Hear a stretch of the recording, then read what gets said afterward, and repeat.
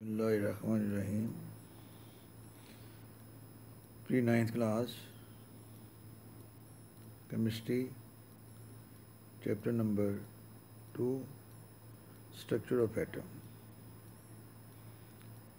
बेटा, आज का इसका लेसन है हमारा बोहर्स एटॉमिक मॉडल। इससे पहले हमने Dalton's atomic model, Rutherford atomic model का ज़िक्र किया था। Today we shall discuss Bohr's atomic model. इसमें first of all we shall discuss how Bohr presented his model.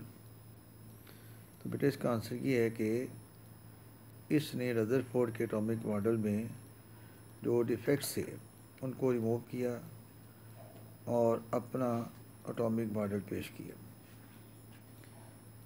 Bohr का अटोमिक मॉडल बेस करता है quantum theory of Max Planck अगले question हम देखेंगे what is the difference between Rutherford and Bohr atomic model पहला point हमने ये देखना है कि इसकी जो बेस है वो मैक्स प्लांक्स क्वांटम थ्योरी पे है। According to Bohr's model revolving electron in an atom does not absorb और एमिट एनर्जी कंटिन्यूसली तो पहला बेटा इसका ये पॉइंट है कि जब तक कोई इलेक्ट्रॉन एक ऑर्बिट में रिवॉल्व करता रहता है तो वो एनर्जी एब्जॉर्ब या एमिट नहीं करता।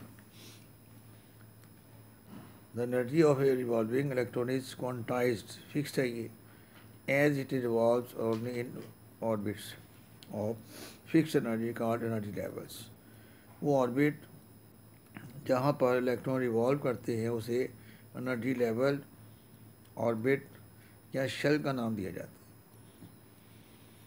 The Bohr atomic model is shown in figure जिसमें ये देखें, दरमियान में सेंटर में न्यूक्लियस है।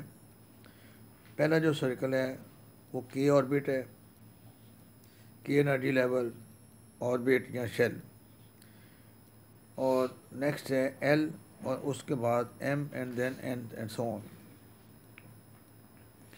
अब इसमें नीचे नाम दिया हुआ उन्होंने N is equal to one N is equal to N is equal to three तो थ्री ऑर्बिट बेटा जहाँ दिखाए हैं उन्होंने। अब इसके जो मेन पॉइंट्स हैं, वो हम डिस्कस करते हैं। Number one the hydrogen atom consist of a tiny nucleus and electron are evolving in one of the circular orbit of radius R around the nucleus इसमें उसने ये बताया कि हाइड्रोजन जो एटम है, वो सबसे सिंपलेस्ट है। उसमें एक ही इलेक्ट्रॉन होता है और वो न्यूक्लियस के गिर्द ऑर्बिट में घूमता रहता है। उस ऑर्बिट का जो रेडियस है, वो आर है। दूसरा पॉइंट है ईट ऑर्बिट है fix energy that is quantise तीसरा point as long as electron remain in the particular orbit जब तक ये इलेक्ट्रॉन एक ऑर्बिट में रहते हैं ये ना तो एनर्जी रिलीज़ करती हैं और ना ही एनर्जी एब्जॉर्ब करती एनर्जी रिलीज़ और एब्जॉर्ब कब होती है? When an electron jumps from one orbit to another जब एक ऑर्बिट से दूसरी ऑर्बिट में इलेक्ट्रॉन जंप करता है तो फिर एनर्जी रिलीज़ या एब्जॉर्ब होता है। जब नीचे वाले ऑर्बिट से ऊपर वाले ऑर्बिट में जाएगा तो एनर्जी एब्जॉर्ब करेगा। ऊपर से नीचे वाले में आएगा तो एनर्जी रिलीज़ करेगा। कितनी एनर्जी रिलीज़ करते हैं या कितनी एनर्जी ऑब्जॉर्व करते हैं, ये फार्मूला हमें बता रहे हैं।